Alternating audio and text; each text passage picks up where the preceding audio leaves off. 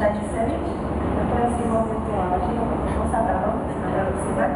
de la escuela 26 del distrito 1.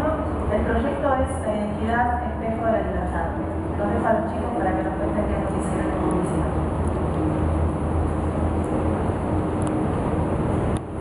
Hola a todos, mi nombre es Luna Cedeira, soy alumna del séptimo grado de la escuela número 26 Adolfo Monteler, distrito escolar 9.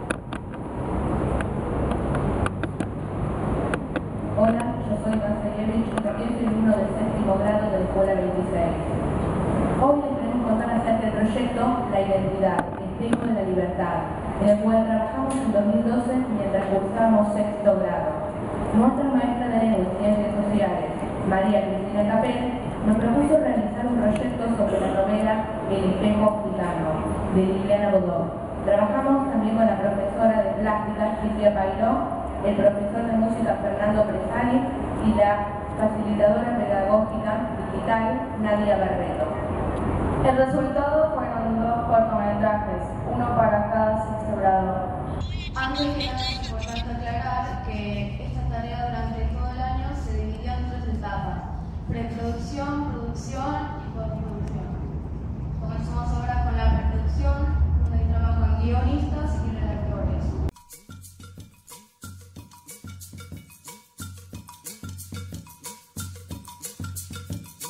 Hola, yo soy Mora.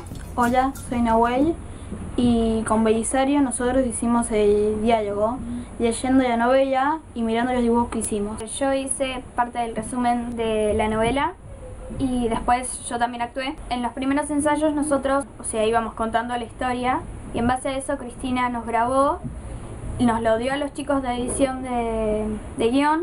Nosotros hicimos un, un guion más concreto, cada chico se aprendió eso con las palabras que él había dicho.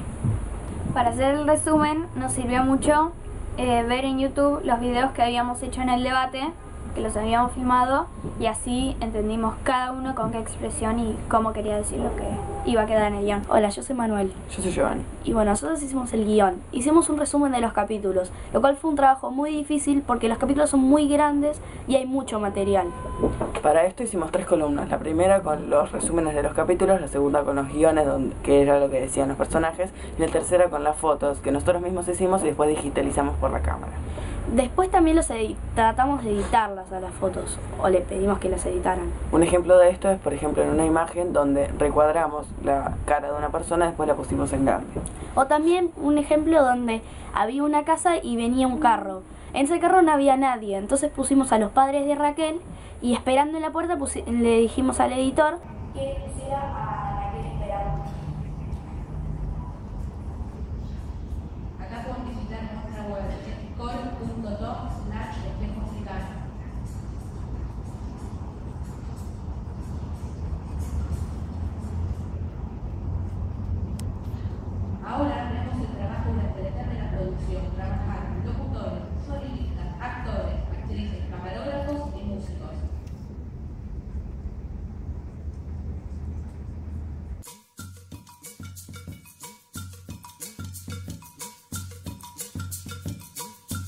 Hola, yo soy Marcos. Yo me encargué de la música del corto del espejo africano, utilizando un editor de audio llamado Audacity.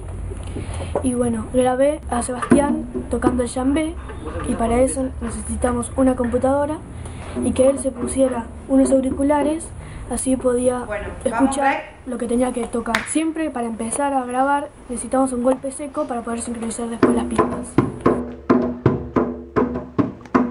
También grabé a Luna cantando y ella escuchaba la versión original mientras cantaba.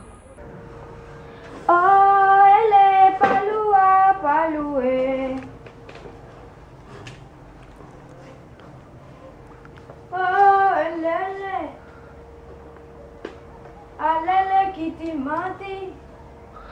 Soy Santiago. También estuve trabajando con Audacity. Estuve trabajando con dos chicas, Julieta y Florencia. Necesitamos también dos compus. Con una veíamos el guion y con la otra grabábamos. Después fuimos buscando las mejores pistas de audio y las enganchamos todas en una. Creamos la canción, la narración y terminamos. La peste llegó a Mendoza dejando huérfana a la niña, que desde ese momento solo pensó en escapar. Voy a escapar de la cárcel. Dale, ahora Acordate de eso que hablamos. Sí, primero la voz. Segundo, trata de, de, proyectar tu voz al micrófono que está en aquella compu. Santiago, esto lo voy a cortar, así que no vas a aparecer haciendo pavadas eh, frente a la cámara. voy a poner justo una franja así para que no te, no te veamos el payaso. Dos, tres. Era una noche de mucha lluvia y Atima Silencio estaba en su cama. Tomó el espejo que había heredado de su madre y se escapó. ¡Fuga! ¡Fuga! se escuchó en la lluviosa noche. Atima Silencio no llegó muy lejos. El hijo del amo la descubrió mientras subía una cuesta. Pero al intentar llegar hasta ella, cayó hasta quedar inconsciente. Atima el silencio hizo luces con su espejo para llamar la atención del resto de sus perseguidores, para así lograr salvar la vida del muchacho. Una cosa más fuerte. Sí. Hola, soy Ezequiel. Hola, soy Joan. Hicimos el trabajo de cámara en el corto. Eh, vimos diferentes tipos de cámara como primer plano, plano general, eh, contrapicado y picado. Eh, las cámaras estaban en una de las esquinas y intentábamos que la segunda cámara no se vea, así podía quedar bien la imagen y que resulte bien el corto. Eh, yo me subí allá arriba eh, para hacer eh, la vista de Raquel y, y Mahoma y después hicimos el contrapicado que era como la vista de los que de los que estaban ahí abajo y le hacíamos como que si miraban a Raquel o a ti. ¿Y ustedes de qué trabajan? Nada. De nada. Estudiamos para nosotros trabajar. Ahora los niños tenemos derechos a estudiar. ¿Y los esclavos de qué trabajan? No hay esclavos. ¿No hay esclavos? Hay esclavitud en trabajos en negro, que son trabajos que toman personas sin educación, les quitan los documentos para que no puedan escapar y les dan un sueldo mínimo. Es casi como en mi época. Hola, yo soy Andrés. Yo soy Irene. Y yo Conrado. Eh, los tres fuimos actores en, en el corto.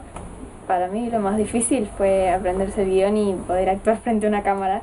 Lo que nos costó, creo, a mí me costó, no sé si a los demás, eh, fue no mirar a la cámara, porque uno está actuando y mira a la cámara y está esta escena, no, uno no sabe qué hacer.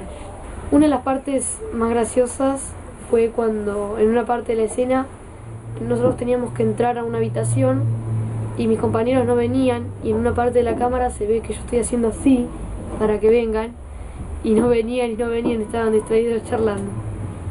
¿Y cómo era tu vida en la hacienda de Mendoza? Era fea y cruel, solo pensaba en escapar. Cuando llegué a la tumba de mi mamá, estabas ahí hablándole y diciendo que no habías podido venir por tu familia. Sí, trataba de que ella entendiera que no la había olvidado, pero mi vida silencio tampoco fue fácil. ¿Cómo fue tu vida con mi mamá? Éramos muy amigas, jugábamos mucho, nos divertíamos, pasamos días muy felices. Eh, disculpen, chicas. Eh, usted se parece mucho a la novela de un libro que estuvimos leyendo.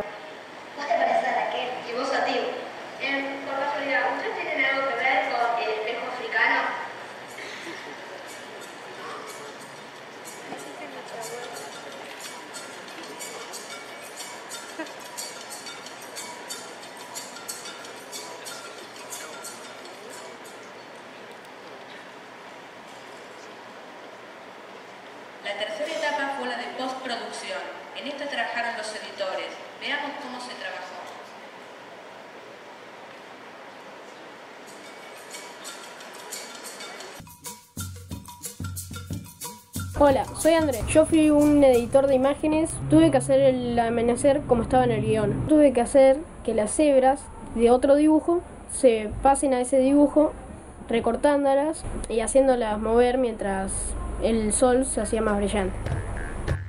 En una gran aldea de África amanece. Los animales empiezan a salir y los tambores suenan. Fatima era una joven y hermosa africana e Mahoma un joven cazador. Hola, soy David y yo, yo edité imágenes con el editor de imágenes con los dibujos que hicieron mis compañeros en plástica y respetando los guiones que hicieron. Una de las cosas que hice fue recortar un cazador que estaba en otro fondo y lo puse en otro fondo en el que estaba Atima y Mahoma con su mamá recolectando frutas y lo pegué en ese fondo y, como si, y como si estuviera espiando a Atima y Mahoma. Yendo a recolectar frutas, Atima y Atima y Mahoma no se dieron cuenta de que estaban siendo observadas por unos cazadores de personas. La niña me va a dar mucha plata, pensó el cazador. Otra de las cosas que hice fue, de mi propio dibujo le faltaba una parte mm, y yo le puse una hoja, lo completé, le tomé una foto y lo puse en otro fondo y, lo marqué con una herramienta llamada lazo y lo, y lo rellené con el consellito con, con su forma original. Adima y Mahoma llegó al río de la Plata en barco. Tenía solo cuatro años. Llegó con mucha gente que también estaba siendo forzada a viajar. En el mercado de esclavos, Atima y Mahoma fue vendida y los señores Fontes y Cabrera la compraron porque tenían una hija de la misma edad.